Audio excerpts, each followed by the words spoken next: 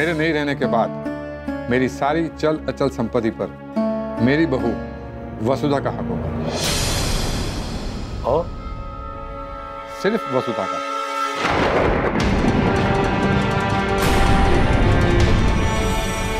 क्या हुआ?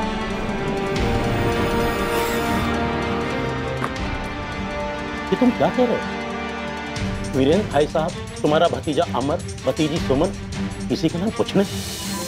ये नहीं समझ पाया कि मेरे बार बार कहने पर भी अमर मेरे ऑफ़िस में काम क्यों नहीं करना चाहता था? दरअसल उसे काम ही नहीं आता है। पकड़े जाने के डर से वो मेरे कंपनी में काम नहीं करना चाहता था। पर वो तो शायद कहीं और जगह काम करता था। तुम्हें तो बताया था।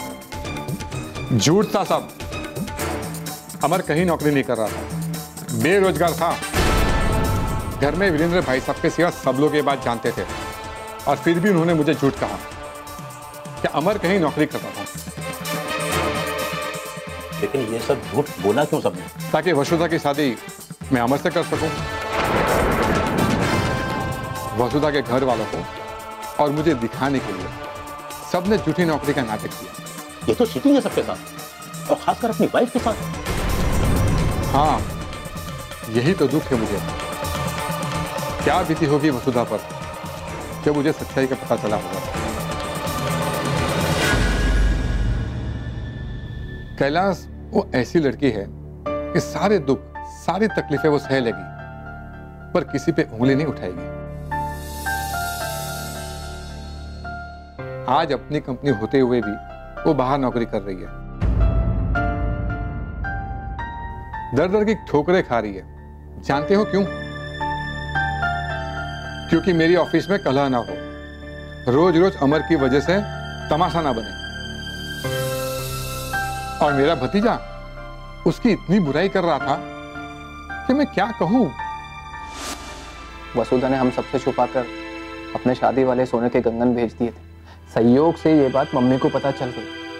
उन्होंने थोड़ी बहुत क्या पूछताछ कर ली? वसुधा तो नाराज़ हो गई? शायद उसे डर था कि आप आएँगे, पूछताछ करेंगे। इसीलिए उसने नौकरी छोड़ दी। अब कैलाश तुम ही बताओ ऐसे भतीजे के हाथ में दौलत देने का कोई मतलब है? अरे तो जानते बूझते खुद का हाथ काटने जैसा होगा। लेकिन ये सारी सच्चाई तुम्हें कैसे पता चली? कहते हैं ना सच्चाई को कितना भी दफन कर लो एक न एक दिन उसकी गंध फैल ही जाती है। मेरा पुराना ऑफ़िस स्टाफ जो मेरे वेल विशर भी है उन्होंने मुझे सारी सच्चाई बता दी। अच्छा है। वक्त रहते तुझे सब पता चल गया। हाँ। और अब मैं अपनी गलती का प्रायश्चित करना चाहता हूँ। वसुधा को अब कोई तकलीफ़ नहीं होगी। उसके हाथ में कंपनी की बागडोर रहेगी तो कंपनी भी तरक्की करेगी। अमर सुमन और उसकी माँ, दौलत के लालच में उस पर जुल्म नहीं कर पाएँगे। मैं वसुधा के नाम वसीयत तैयार करवाता हूँ। और हाँ एक बात और। ये वसीयत वाली बात किसी को पता नहीं चलनी चाहिए। वसुधा को भी नहीं। मेरे नहीं रहने के बाद उचित समय देखकर ये वसीयत उनको सुना देना। ठीक है कृष्ण। तुम जैसा चाहते हो वैसे ही हो। मैं जल्दी वसीयत तैयार करवाता हूँ। ओके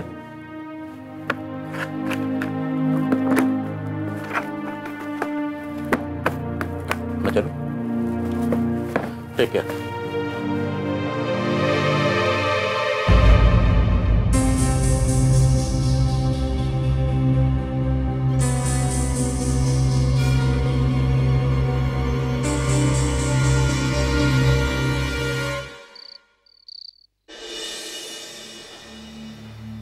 भाभी ने बोला था, चिराग ठीक है अब। घर तो आ ही गया होगा। क्या करूँ? जाकर उसे देख कर आऊँ? या फिर फ़ोन से हालचाल ले लूँ? नहीं नहीं, फ़ोन नहीं करूँगा। जाकर ही देखता हूँ। नहीं तो छाया फिर से जीना आराम कर देगी मेरा।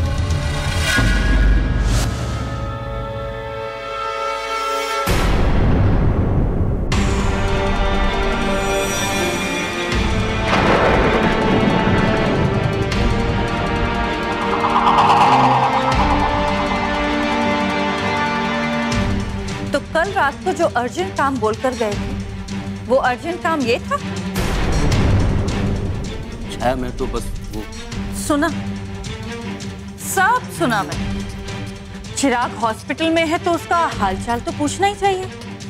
भतीजा जो है आपका मेरा भी तो है। है कि नहीं? हाँ हाँ मैं तो बस हालचाल ही ले रहा था छाया साथ में ये भी तो कह रहे थे कि भाभी अगर और पैसों की ज़रूरत हो तो बता दीजिएगा। संकोच मत कीजिएगा। क्या मतलब हुआ इसका? मैं समझती नहीं हूँ। मूर्ख हूँ, गवार हूँ।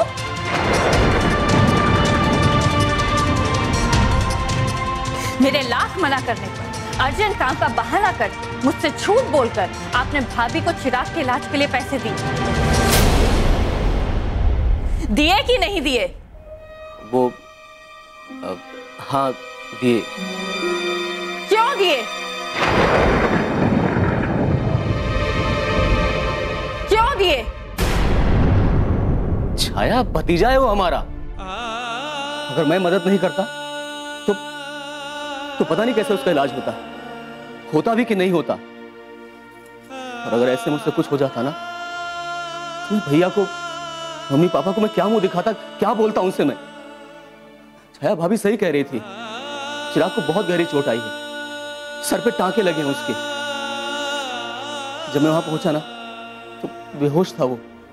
इसका मतलब तो आपको मेरी कोई परवाह है ही नहीं। मैं क्या कहती हूँ क्या नहीं कहती हूँ उससे आपको कोई फ़र्क नहीं पड़ता। आपको सिर्फ़ और सिर्फ़ अपने परिवार की चिंता है। मेरी नहीं। कैसी बात कर छाया तुम? अरे पत्नी हो यार तुम मेरी। इसलिए झूठ बोला। पत्नी हूँ पराया खून हूँ अपना खून नहीं हूँ। आज पचास हज़ार देकर आए। अरे, कल को वो दस बीस लाख मांगेगी तो वो भी उठा के दे दो परसों ये घर मांगेगी तो वो भी उसके नाम कर दोगे। अरे, ये तक नहीं सोचोगे कि पत्नी को कहाँ रखना है। पत्नी हूँ मैं तुम्हारी।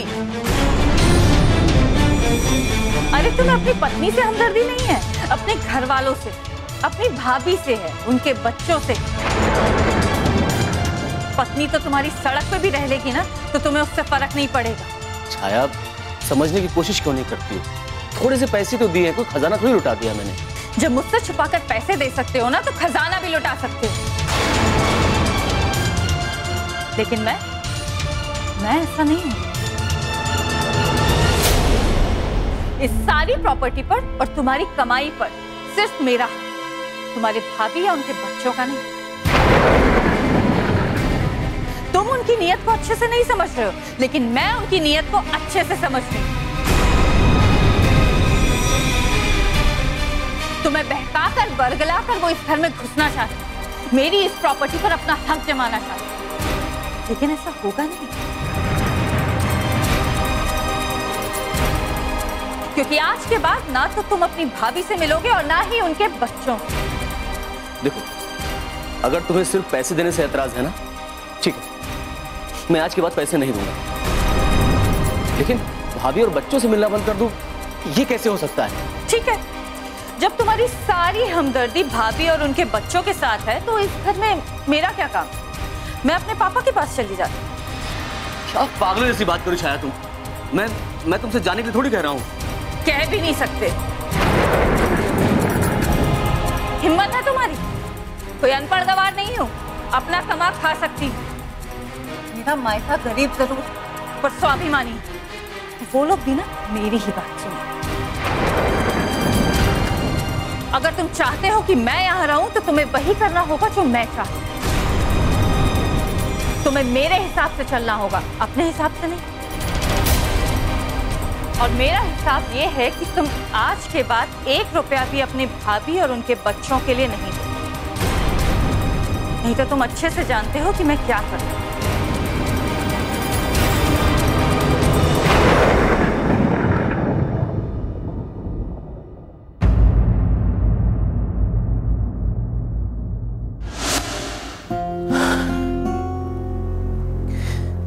क्या करूँ भाभी मैं बहुत मजबूर हूँ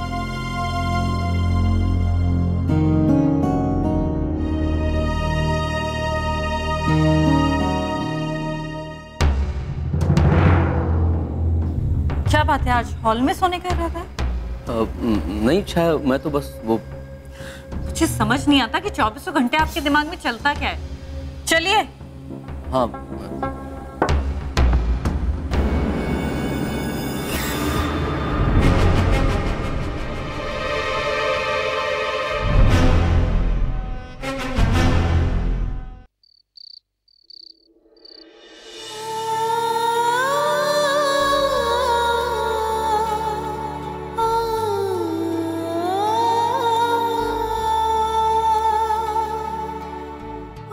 से घर पर आई हो। क्या मतलब Akshay? I am not a fool ये तो अच्छा हुआ कि आज पारुल की वजह से तुम्हारा असली चेहरा सामने आ गया। तुम मुझे घर से निकाल रहे हो अक्षय। पैसा प्रॉपर्टी जो कोर्ट तय करेगा मैं देने के लिए तैयार हूँ। मुझे डिवोर्स चाहिए। मुझे डिवोर्स चाहिए। मामा कितने दिन हो गए पापा अब तक नहीं आए। क्या पापा को हमारी याद नहीं आती? आती होगी बेटा। पापा भी आपको याद करते होंगे। और शायद काम में बहुत बिज़ी हैं इसलिए नहीं आ पा रहे होंगे ना? तो फिर वो हमें फ़ोन क्यों नहीं करते? पापा से बात कराओ ना मेरी फ़ोन पे।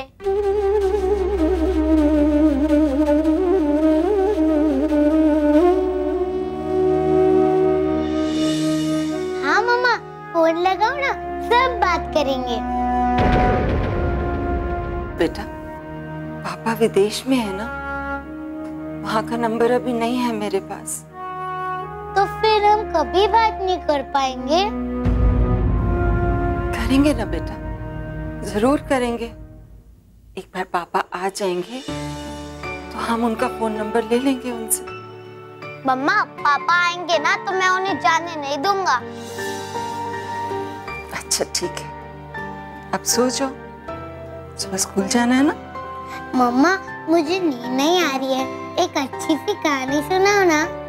हाँ मम्मा आप कहानी सुनाओ ना। सुनाते हैं। लेट जाओ। आँखें बंद और कहानी शुरू। एक माँ थी। उसकी एक बेटी थी। उस माँ ने अपनी बेटी की शादी खुशी खुशी एक राजकुमार के साथ कर दी। माँ को क्या पता था?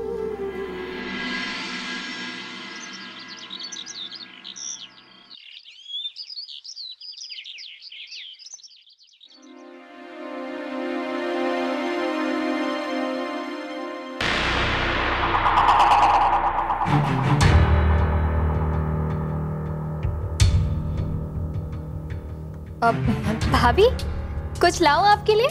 नहीं नहीं सुमन हो गया मेरा। क्या भाभी? इतनी भी क्या हड़बड़ी है? आराम आराम से खाइए। वो एक्चुअली मुझे ऑफ़िस में काम है इसलिए जल्दी जाना है। कहाँ?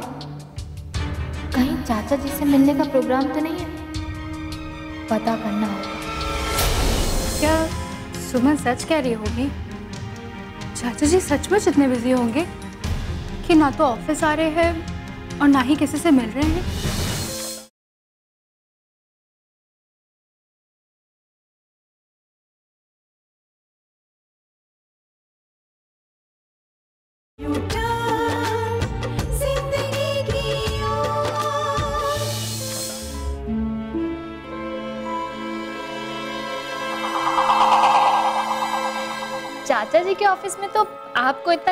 करना पड़ता होगा है ना? अब चाचा जी से याद आया। देखिए ना वापस आने के बाद चाचा जी एक बार भी यहाँ नहीं आए। सबसे मिल लेते तो कितना अच्छा होता ना? आपसे भी मुलाकात हो जाती। कोई बात नहीं सुमन। जब उन्हें फुर्सत होगी तो आके मिल लेंगे वो। हाँ हाँ वो तो है। मुझे भी यही लगता है। कि चाचा जी बहुत बिज़ी हैं आजकल। अब इतने दिनों बाद आए हैं। इतने सारे काम निपटाने होंगे उन्हें। अब इतनी बड़ी कंपनी है, पचासों काम होते होंगे। अब ऑफ़िस भी नहीं आते हैं वो। बस फ़ोन पे ही भैया से पूछताछ कर लेते हैं।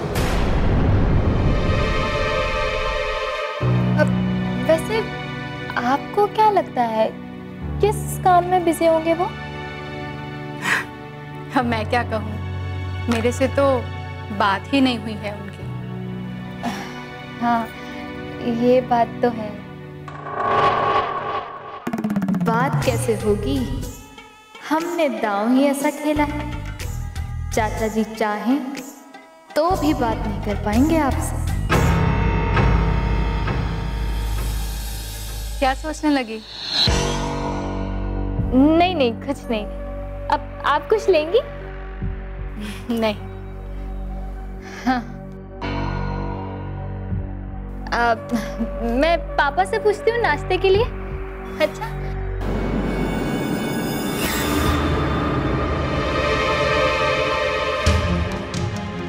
क्या सुमन सच कह रही होगी?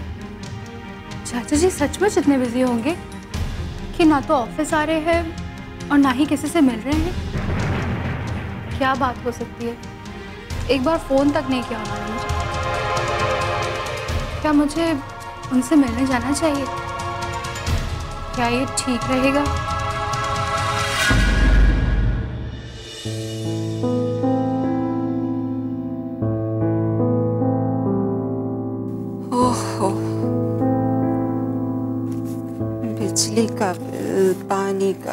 बिल टेलीफोन का बिल।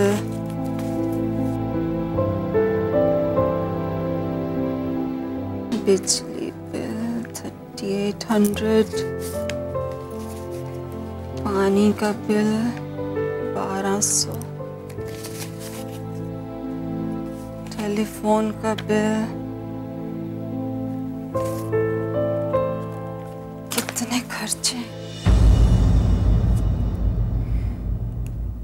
कटौती करूँ तो किसमें? बच्चों के स्कूल खर्च में, स्कूल की बस में या उनके खाने पीने में तो कर नहीं सकती। मेरा अपना तो कोई खर्चा है ही नहीं।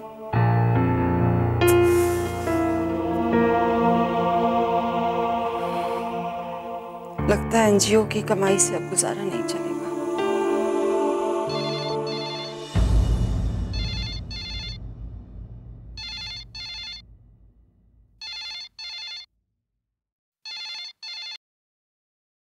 हेलो। हाँ जया। कौन बोल रहे? हैं अरे मैं कैलाश बोल रहा हूँ भाई कैलाश अग्रवाल। ओ मामा जी प्रणाम। मैं माला बोल रही हूँ। ओहो हो माला बेटा बहुत दिनों बाद तुमसे बात हुई। कैसी हो? जी मैं अच्छी हूँ मामा जी। और बच्चों के क्या हाल है? अक्षय कैसा है? जी सब ठीक है। चलो अच्छी बात है। जरा जया से बात कराना बेटा।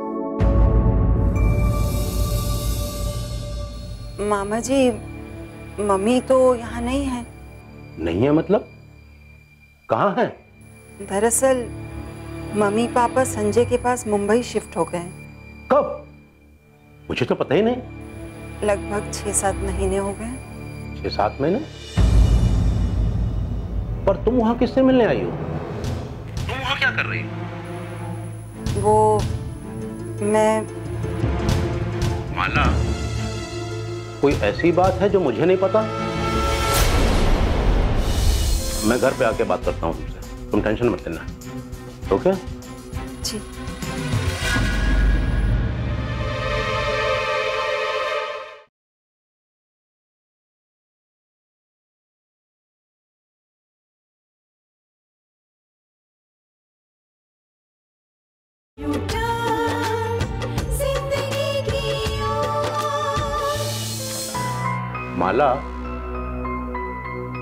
कोई ऐसी बात है जो मुझे नहीं पता? तुम्हारे और अक्षय के बीच में सब ठीक तो है ना? मामा जी दरअसल वो मतलब कि कोई बात है? ठीक है मैं घर पे आके बात करता हूँ तुमसे। तुम टेंशन मत लेना। ओके? जी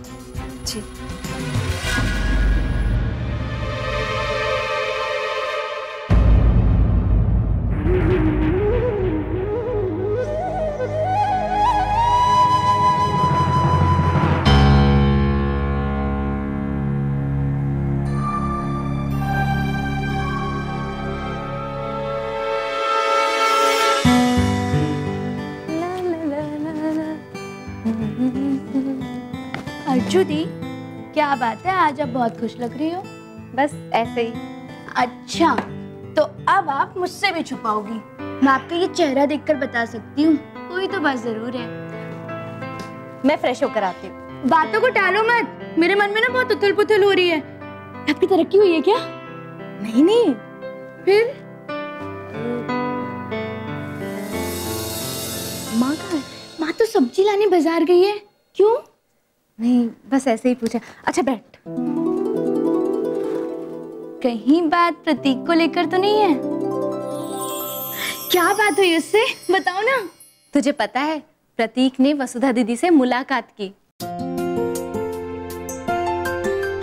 वो भी एक बार नहीं दो दो बार। यानी कि वसुधा दी को आपके और प्रतीक के बारे में सब पता चल गया? हाँ प्रतीक ने वसुधा दीदी को सब कुछ बता दिया। दीदी ने आपसे बात क्यों नहीं की? कहीं दीदी को प्रतीक पसंद ना आया हो। नहीं नहीं वसुधा दीदी को प्रतीक बहुत पसंद आया। फिर दीदी प्रतीक क्यों मिलने गया था वसुधा दी से? वो दीदी से रिक्वेस्ट करने गया था कि दीदी माँ से हमारी शादी की बात करे। लेकिन दीदी ने घर की परिस्थितियों को देखकर टाल दिया और बोला समझ कर बताऊँगी। समझी। प्रतीक के घर वालों का फोर्स था, इसीलिए वो दी से मिलने गया। फिर वो दोबारा क्यों गया? क्या दीदी ने उसे बुलाया था? और अगर बुलाया था तो क्यों? उन्होंने तो आपसे बात भी नहीं की।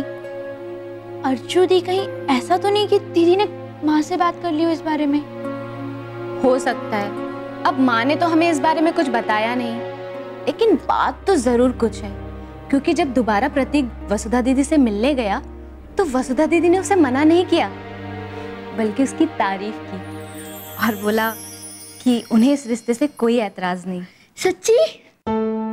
अगर दीदी मान गई है तो समझिए आपकी शादी प्रतीक से जल्दी से जल्दी हो जाएगी। ऐसा नहीं है शिवानी। दीदी ने प्रतीक को साफ़ साफ़ बोल दिया है कि उसे सात आठ महीने रुकना ही पड़ेगा। जब आकाश की पढ़ाई कंप्लीट हो जाएगी तेरी पढ़ाई कंप्लीट हो जाएगी उसके बाद ही शादी की बात होगी। पर दीदी प्रॉब्लम तो ये थी ना कि प्रतीक के घर वाले रुकने को तैयार नहीं थे। हाँ लेकिन अब वो प्रॉब्लम खत्म हो गई है।